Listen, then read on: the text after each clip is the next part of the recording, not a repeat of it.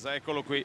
Sufiana il Caburi, il... Ah, eh, Gara difficile da interpretare, però a mio avviso Ingebrigtsen o Lusa e per quello che ho visto nelle batterie il britannico Oare potrebbero avere qualche chance in più. Manca Opzilen che poteva essere l'uomo a lanciare la gara su, su alti ritmi e quindi a scremare un po' il gruppo. Probabilmente ci sarà solito, il solito canovaccio, 800 metri di trasferimento e poi battaglia a gomiti larghi fino alla campana per prendere le migliori posizioni. Vediamo El Caburi, visto che è stato graziato, se fa una prova perlomeno di coraggio, di sostanza fino alla fine. 1500 nell'ultima sessione pomeridiana ad assegnare i titoli. El Caburi lo vedete, penultimo lì dietro.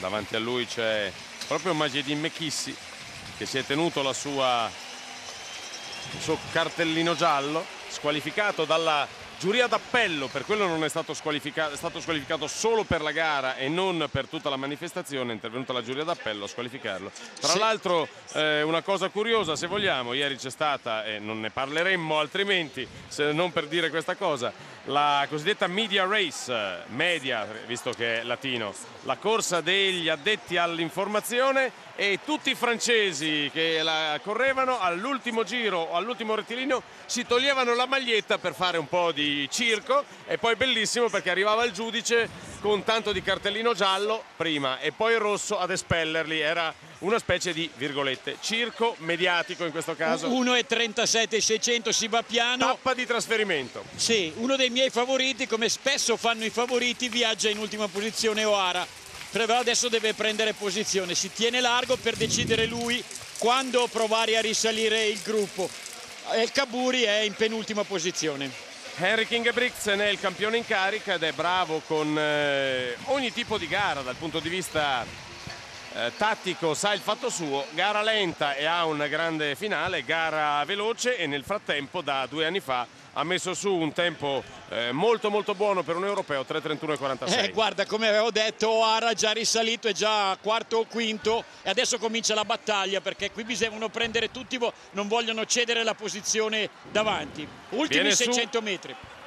Ol, eh, Sharon Leonard e poi scappa Chris O'Hare il giovane inglese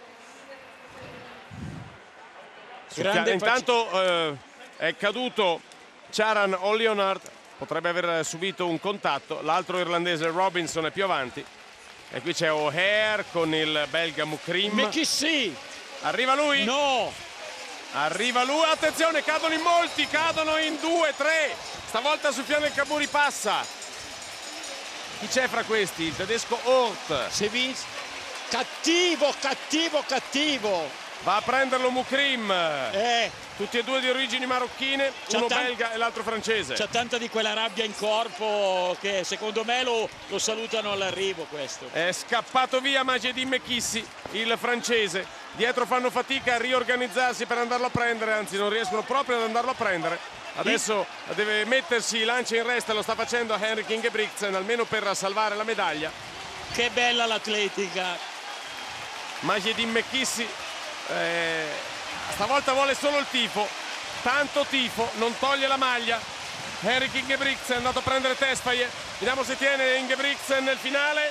Majedin Mekissi Ingebrigtsen è il terzo. È lui ma eccolo qui. Comunque il ragazzo piemontese. Eh, gara che